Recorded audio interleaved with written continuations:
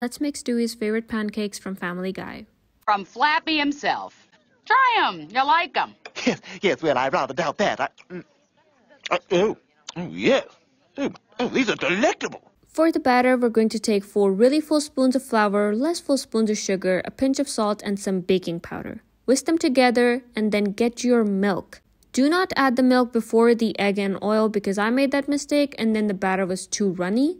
So really add the milk to see how runny you need to make your batter. Now, I don't know about you, but American pancakes look beautiful but don't exactly taste beautiful. So we're going to cook these on lowest heat in clarified butter. Flappy, good news. I've decided not to kill you. Yeah, I don't want to die at his hands.